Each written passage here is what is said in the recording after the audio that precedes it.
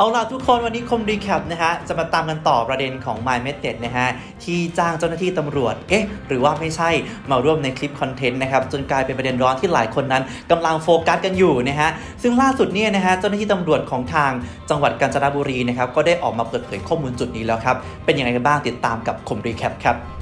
ล่าสุดทุกคนผู้สื่อข่าวนั้นนะครับก็ได้ไปพูดคุยกับเจ้าหน้าที่ตำรวจนะฮะเป็นผู้บังคับ การตำรวจภูธรจังหวัดกาญจนบุรีนะฮะซึ่งเป็นสถานที่นะครับที่เป็นห้างร้างนะฮะที่หมายแมนเน็ตนั้นได้ขนพนักงาน และก็คนที่สวมชุดเครื่องแบบตำรวจนี่แหละครับไปถ่ายคลิปคอนเทนต์กันจนเป็นที่วิจารณ์และก็เป็นเสียงฮือฮากันนั่นเองฮะทุกคน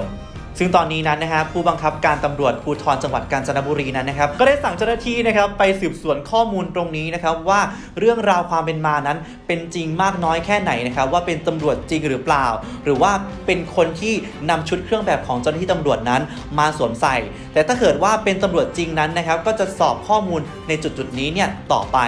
ซึ่งถ้าเกิดว่าเป็นคนนอกนะฮะที่ไม่ได้เป็นตำรวจ และก็นำเครื่องแบบของเจ้าหน้าที่ตำรวจมาใส่นั้น ก็จะต้องดำเนินคดีกับเรื่องนี้ต่อไปฮะ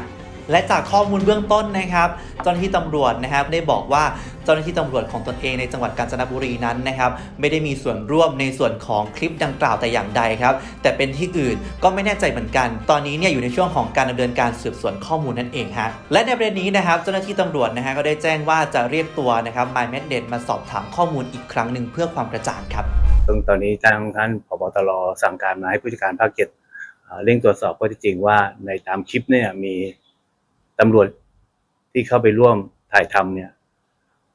ที่เขาอ้างว่าห้าสิบคนเนี่ยเป็นตำรวจที่ไหนบ้างนะครับซึ่งจากการตรวจสอบเนี่ยตำรวจของกาญจนบุรีในเบื้องต้นเนี่ยยังไม่ใช่นะครับ อาจจะเป็นตำรวจนอกหน่วย แล้วก็บางส่วนก็ไม่ใช่ตำรวจจริงนะครับตอนนี้อยู่ระหว่างการดำเนินการผู้ที่ไม่ใช่ตำรวจแล้วมาแต่งขายขายตำรวจ หรือแม้กระทั่งตำรวจจริง ๆ แล้วก็เป็นตำรวจในอื่น แล้วก็เข้ามาในพื้นที่แล้วมีการพกพาอาวุธปืนเข้ามาเนี่ยเราก็จะ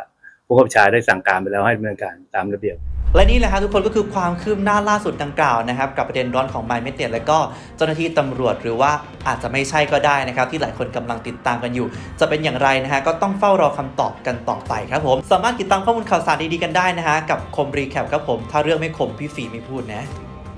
ขอบคุณทุกการรับชมนะครับ แล้วก็อย่าลืมกดไลค์กดแชร์นะฮะเพจ Facebook คมชัดลึก รวมถึงทุกๆแพลตฟอร์มของทางคมชัดลึก ไม่ว่าจะเป็น YouTube TikTok Twitter และก็อย่าลืมกด Subscribe ให้ด้วยนะฮะเป็นกำลังใจกันครับ